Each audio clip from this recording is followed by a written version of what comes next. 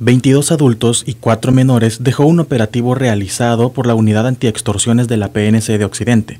Entre las detenciones destacan la de Susana Beatriz Barrientos Cárcamo y la de Francisco Ralda García, ambos de nacionalidad guatemalteca y miembros de la estructura 18 sureños. Según las investigaciones, los capturados se dedicaban a las actividades de comercio informal en uno de los mercados de mayor afluencia de Santa Ana, donde aprovechaban para llevar a cabo extorsiones que posteriormente eran entregadas a la estructura del viejo Lin.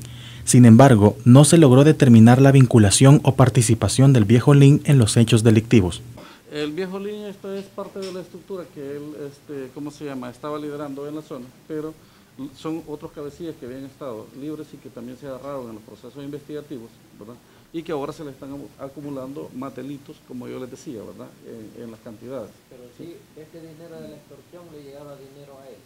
Pues fíjense que eh, lo que nosotros hemos visto es que son ellos los que han estado básicamente manejando este, esta, eh, eh, ¿cómo se llama?, esta concentración de ese dinero. No necesariamente con él, pero sí con gente que ha estado o, estaba cuando él estaba en libertad, eh, básicamente eh, concentrando esa, ese, ese, dinero producto de la extorsión. Otra de las detenciones destacadas es la del agente policial William Edgardo Ramos, quien facilitaba el ingreso de celulares a las Bartolinas. Y también tenemos eh, dentro de lo relevante a la detención de un policía, William Edgardo Ramos, quien se dedicaba pues a facilitar la introducción de aparatos telefónicos a lo que son Bartolinas eh, donde hay personas detenidas.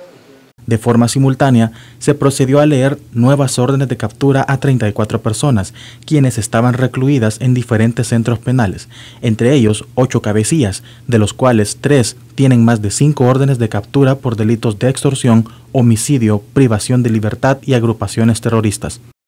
Como resultado final, se logró la incautación de cuatro vehículos, 23 teléfonos celulares y 6.468 dólares en efectivo informó para la prensa gráfica.com Leonardo Esquivel.